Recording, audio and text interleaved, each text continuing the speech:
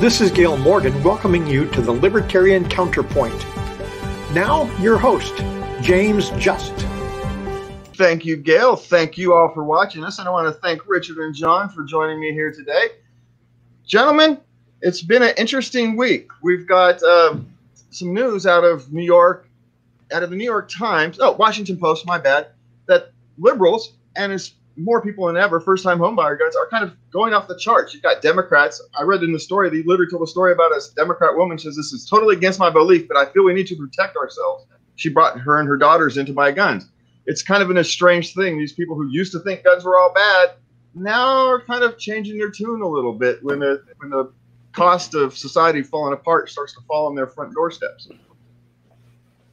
Well, I think it's a yeah. I think it's a wonderful thing. I think it's a wonderful thing. But uh, thank you so much, whoever provided that uh, that uh, wonderful Washington Post article when they were when people were talking about what they were afraid of this woman was afraid that if she walked around uh, somewhere that she'd be shot by police. She was afraid that if she was driving somewhere and told them that she had a weapon in her car, that they would shoot her. Um, and on and on and on. So their their fears are, are, I think it's wonderful that more people have guns. I think uh, um, you know, and eh, all the studies have, have shown that the more guns there are, the less crime there is. Now, there there was a spike in guns um, uh, sales this year and a spike in crime, but I think we can write the spike in crime off to the pandemic and the uh, the the lack of police presence out there. So, uh, but I think the idea that uh, you know these people that are that are horribly afraid of guns. Um, and and think they're evil, um, hopefully by osmosis they'll realize that that guns are by what a thousand to one used by a civilized populace to protect themselves and actually prevent crime. Maybe that'll actually sink through. I know Richard, you wanted to say something, so I'll. I'll yeah, no, I, I, think it's interesting that forty percent, according to uh, who knows how reliable they are, but according to the statistics that, that, have been compiled in the last year, some 40% of new gun owners are people who have never owned guns before, or gun buyers are, are people who have ne- never owned guns before.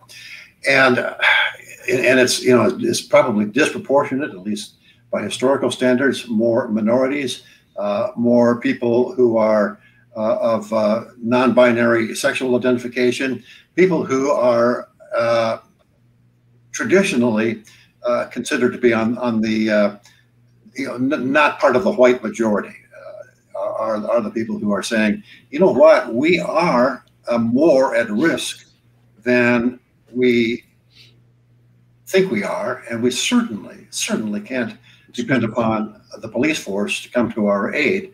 Know, as the old saying goes, if you uh, if you want to if you want police protection uh, within the next five minutes, call the police and they'll be there within an hour and it, you know it's, it's a reality check. We're seeing crime in the streets as a result of the the the, uh, the Floyd riots last year, as a result of the uh, so-called insurrection on January 6th, uh, as a result of the tribalization of American politics, whether you're uh, a Trumpista or a, or a San, uh, Bernie Sanders, Sanders in, in the East, uh, it doesn't make any difference.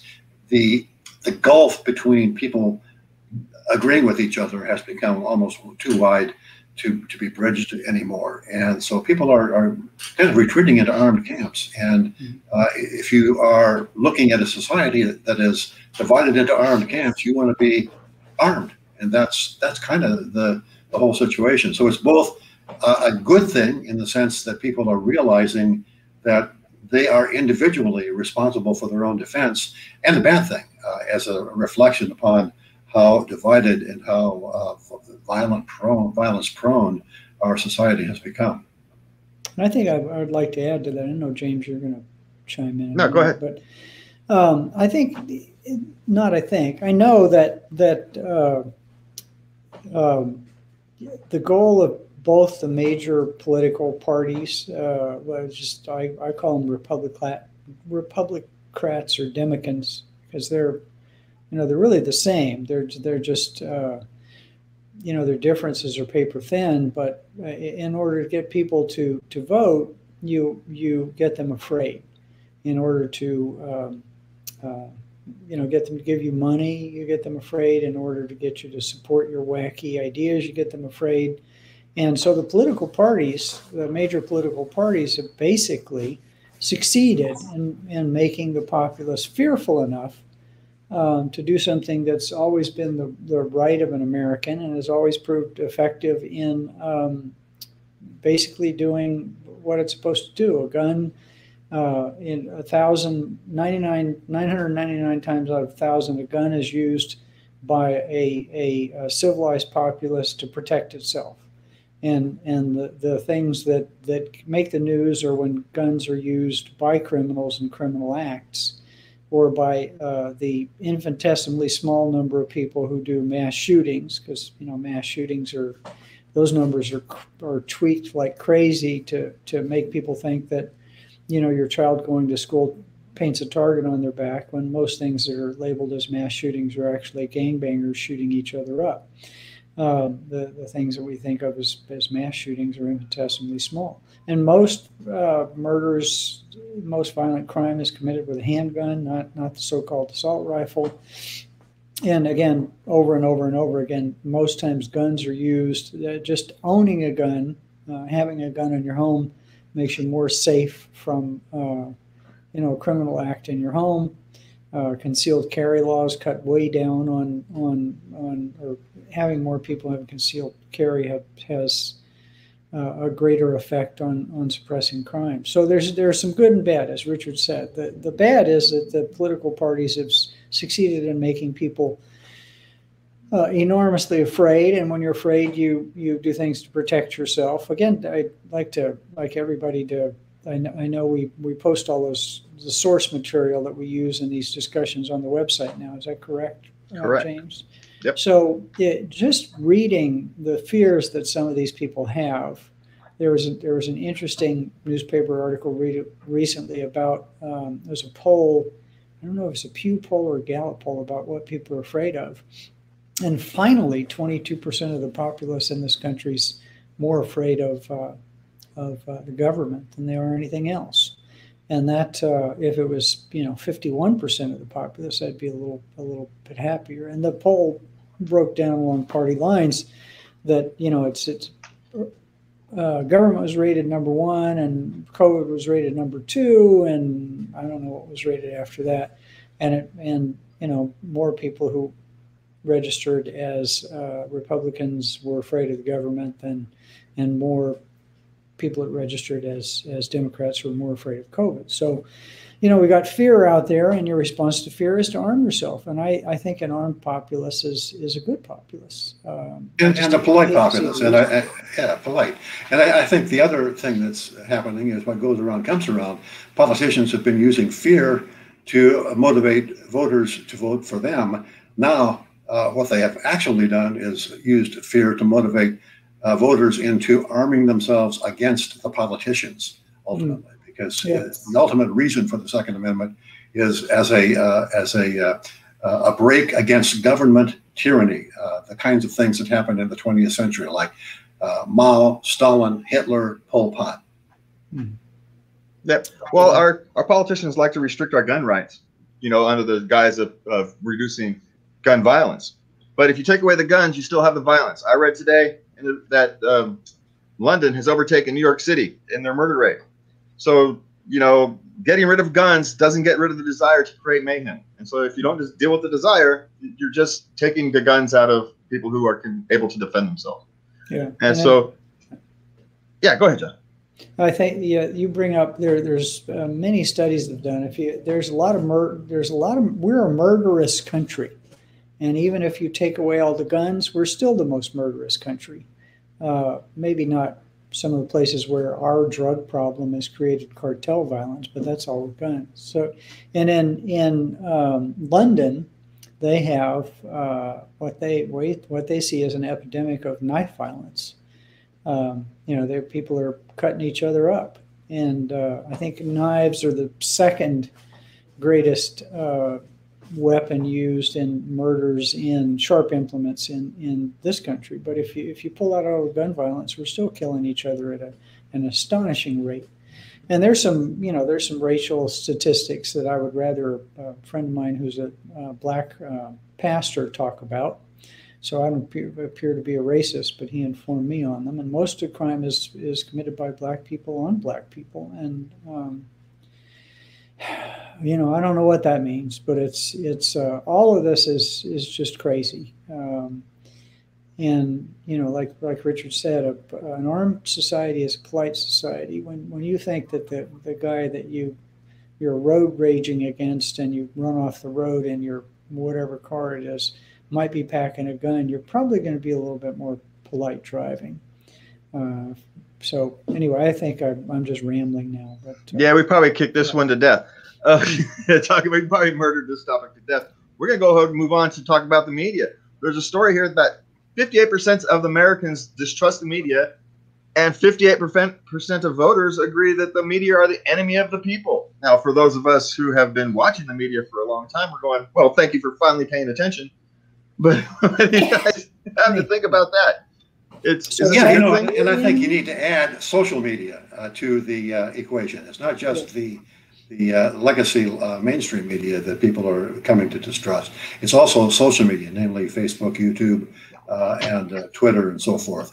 and, and for good reason, because I remember back in the I think it was the late '90s, Hillary Clinton saying that you know, we used to have uh, control over, uh, have gatekeepers. Her word was gatekeepers on the media. That was back when ABC, CBS, and NBC controlled 90% of, of, of the news, other, and uh, as far as broadcast was concerned, and the New York Times, uh, on the Washington Post, and the, and the, Los Angeles Times controlled a similarly large portion of, of print media. And there was no such thing, or there was just beginning to be a, a, such a thing as uh, internet media. And at that stage, internet media was pretty much unregulated and pretty much uh, a free for all. Uh, anybody uh, with an internet, connection could set up uh, their own uh, soapbox, and nobody got in the way of that soapbox being picked up.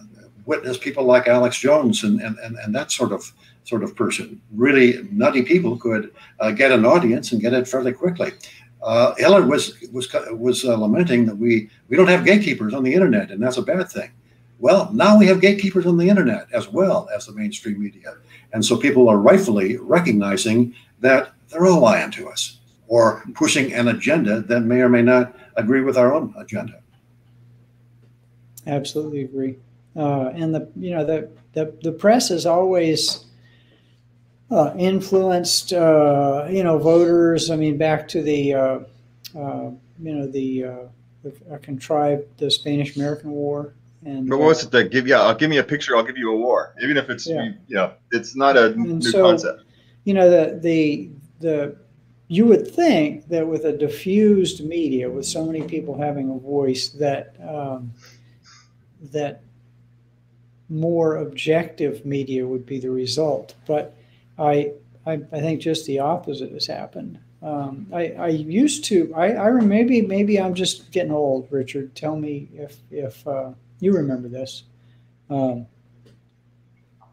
used to be able to read a newspaper and even a left leaning newspaper or a right leaning newspaper, you could read it and, and, and think that the facts as they were reported in the article, despite bias, uh, were correct because that's what they taught in journalism school. And and the bias might be there, but but the facts as reported could be depended upon most of the time. Now when I read articles, what? True, but yeah, go ahead. Now when I read an article, whether it's it's on the interweb, as I like to call it, to upset my daughter and make her roll her eyes, uh, or or in lamestream media or on a news broadcast, the facts themselves are misreported. Uh, not just you know an, a, a, a lie of omission by leaving numbers out, but simply misreporting information, just making stuff up. Um, so we can't I can't depend on on on even the numbers that are are being interpreted by the news people, which isn't their job. Their job is to simply report the news. As being factual. Any, anyway, you you had something to say about it, Richard. Yeah, I mean, when I went to journalism school, that's when I, when I first uh, went to college, it was in journalism, and we were taught who, why, what, when, where, and how, uh, the five W's and an H, and uh, uh, and for the most part, that was what media reported.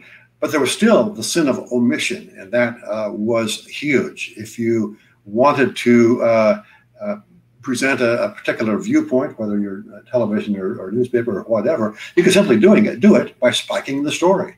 A story you don't like the uh, implications of, spike it. Don't run it. Don't you know ignore it. Uh, that's still going on. But now, yeah. as you correctly pointed out, I have pointed out, there's not only a spiking of stories that uh, don't fit the uh, whatever narrative uh, you're trying to uh, promote, but you're also seeing statistics questionably interpreted and uh, in some cases, uh, facts being, to put it politely, made up. Mm. Yeah, well, that's that's the evidence of that during the, the last election. The story that was buried was uh, the Hunter Biden story, oh, big time. Uh, and and a, and a number of other you know stories uh, about the left wing and and things that were basically made up um, about you know the Russian Russian influence, uh, direct Russian uh, conversations between Trump and and and it turns out later that that evidence that these stories were made up. Uh, you know, the, the, an FBI agent basically changing a report on on uh, uh, on on Trump's son, I think it was that that that said that you know in essence he was in collusion with the Russians when he was actually a source for the CIA. So I mean, it just yeah. I mean, I, I, mean, and the biggest omission in the 2020 election was the ex- uh, total, without any exception whatsoever, uh, ignoring of the Jo Jorgensen campaign. Back in in, yeah. in, in, 2016, Gary Johnson got a little bit of, of uh, CNBC, uh, MSNBC, uh, NBC, ABC, CBS. He got a little coverage. Jo Jorgensen got absolutely zero, none whatsoever, mm-hmm. other than uh, local media. That's the only coverage she was able to get, and I can guarantee you that was uh, active spiking on the part of the uh, mainstream press because they didn't want uh, Trump to have anybody uh, have uh, anything, anything whatsoever to make sure that Trump did. Yeah, I agree with the objective, but I don't agree with the means. Yeah, well, the means cannot be a justify the ends, right? We, it's just you cannot have that because that's where you end up with unethical behavior, and you end up with your ends being worse than you wanted in the first place. Um, speaking of ends justifying the means, the means or not, critical race theory is a big discussion. The media has not been correctly covering all the aspects of it, which is part of the reason we're so divided over it. But the best choice for it is actually school choice, is it not? Giving us the ability to pick and choose where we get to send our children and the type of education our children have rather than have it dictated to us from politicians up above. Isn't that the real answer to these kind of questions? You were to ask me how to define critical race theory, I really couldn't do it because I, I keep hearing whether you're getting a definition from the left or the right, the definition uh, differs dramatically. And I don't have any objection whatsoever to critical race theory being taught in schools to which their parents are sending their children voluntarily. Uh, I do object to any kind of, uh, of uh, propaganda, whether it's critical race theory or white supremacist theory or any other kind of propaganda being taught to kids who are, in essence, jailed in school by mandatory uh, public schooling, which is kind of the case that we have now, with the very rare exceptions of where uh, parents are rich enough to send their kids to private school or independent enough to homeschool or use charter schools if they're available. Uh, making school choice more widely available solves the problem of parents being uh, having their kids subjected to uh, social justice theories or whatever that they don't particularly agree with. Uh, and, and that's kind of one of the you know the uh, the unforeseen good consequences of the lockdowns of the last year. Uh, and it's interesting that the New York Times just did a, a long piece on how uh, homeschooling is a terrible, terrible, awful, really bad thing, citing questionable statistics about how kids are not learning uh, as well as they as well as public school publicly schooled kids. But I think a lot of that is that they're not learning what the New York Times thinks they should learn. Mm-hmm. They're learning things that don't agree with the agenda of the New York Times, and that's a good thing. I, I want to share with you an anecdotal story, and I need to scrub all identifiers off of this guy because that young man needs to work um, young. Um, I recently used a ride sharing service uh, to, to get home from an event and um, patriotic uh, event, a celebration of our independence, fireworks, and all the rest of that and found out that the person driving was a, a, teacher. And and you know despite the cautionary shushing of my my wife who was in the vehicle at the time i espoused my uh, my complete disdain for public school uh, teachers. And i remember i wish i could remember the quote. For her last name's paterson i think one of the one of the the uh, the founders of basically libertarian thought. Yeah isabel paterson is isabel patterson paterson patterson.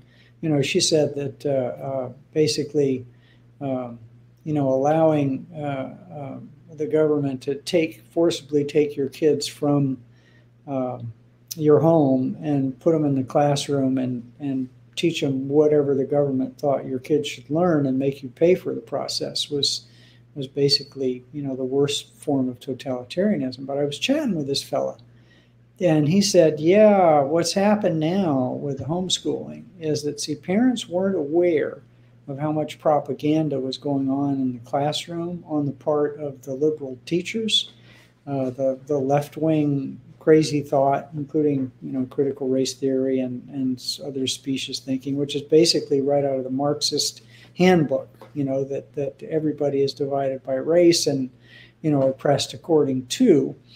Um, I said, but now what they can do is watch what these people are teaching their kids, and they're uh, disgusted, astounded, aghast, and unwilling to have this go on, which is why so many kids are not back in school uh, after the pandemic or being taught at a distance. Why so many husbands or wives, depending on who the greatest wage earner is, is giving up their livelihood or part of it to stay home and teach their kids and make sure that they actually are the filter uh, through which uh, a moral compass is is imparted to their children. And and I was kind of thinking he was he was an outlier, and he said, "Oh no, no, there's uh, there's a lot of us out there that are just disgusted by it, and we're trying to find. We know we can't teach." Uh, you know, we can't teach uh, uh, rational thinking and actual real history and anything to do with the founding fathers and all the rest of that in the public school system. So we're trying to set up, you know, private schools online and on and on and on. And but now, I said the parents are aware of it because they've watched it, whereas it was hidden in the classroom before. But now it's for anybody to see on the computer screen that their kids their kids watching. So I think the, the, the panic the panic pandemic has had some, as Richard pointed out um, earlier, uh, some benefits because um, it's exposed this massive propaganda machine that is I don't want to call, call, it public education. Let's call it government education. What it is, it's the propaganda. Propaganda. Yeah. yeah. Well, as we talk about government propaganda, our vice president and past uh, senator from California was out and about this past weekend and she opens her mouth and says things she has no idea what she's talking about. She said the rural communities can't have access to a photocopier because there's no Kinkos out there. You know, of course, if she'd been outside, she'd know there's no Kinkos anywhere. But it's 1901 or 2001 or 2003 or something like that, almost 20 years. Yeah, it's not even close. But it's like somehow rural people can't order a Amazon can't order a printer off of Amazon like I don't know everybody else in the world has done at this point. This disconnect that these uh, coastal elites, we'll call them, have for the people who live in flyover country is astounding, and it's on full display here yet again. Hmm. Yeah, and then the underlying issue was uh, I think it had something to do with uh, voter registration laws and, and being uh, having to uh, provide a copy of, uh, of ID. Now, I don't want to get into the whole voter registration uh, morass. I'm not convinced that voting has that much of a, of a of an impact upon the body politic anyway. So you know, it's kind of it's kind of a, kind of a moot point in in, in, in a sense. Uh, but uh, you have to admit that the elitism of people like Kamala Harris is on full display when she uh, claims that uh, uh, the, the folks in, as you put it, flyover country don't have the same uh, mental acuity or technical ability to do things as people in, in, her circle of friends. Hmm. Yeah, one. I, I agree. One of the, the the I don't remember that where the article came from that we passed around that you guys were kind enough to send, but they mentioned uh, one of one of Kamala's problems is that she was from the monoculture of of uh, San Francisco, of California, and even even more of a monoculture, um, San Francisco. So she has no clue the, about uh, reality or what other people are thinking. I would call it reality. What if other people are thinking differently than Kamala Harris? That's reality. But let's not even bother calling it reality and just say different thought. She's not. She hasn't been exposed to. She hasn't had to deal with.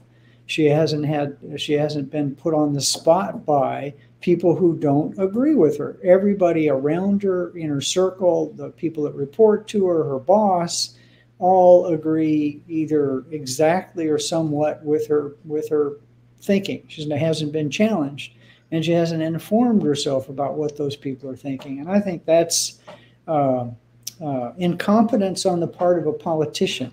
If you don't know what your perceived enemy is believes in or thinks or does, then how can you effectively do battle with them? And then it's it's even even worse than incompetence. It's stupid because if you go expose yourself as not being aware of what is going on with the populace who, who have the power to vote for you, you're, you know, committing political suicide.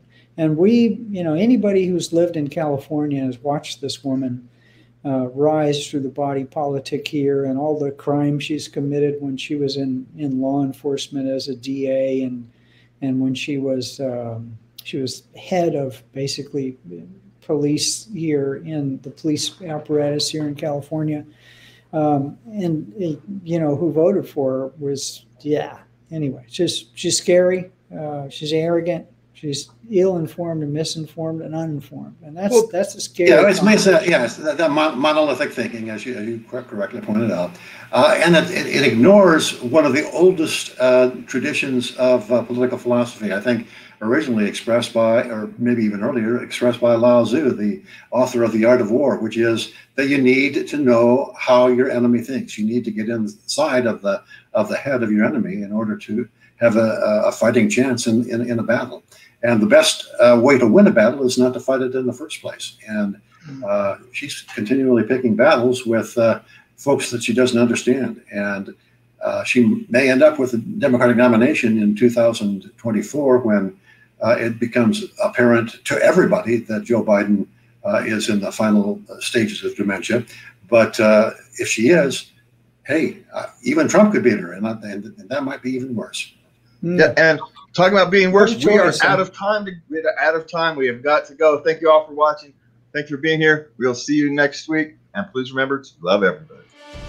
Thank you for watching the Libertarian Counterpoint Show. In Sacramento, Channel 17 on Comcast. Each Thursday at 8 p.m. and each Monday at 5:30 p.m. for the Knuckleheads of Liberty. Also on YouTube, Facebook, and podcasts everywhere. We invite you to come again next week for the Libertarian Counterpoint.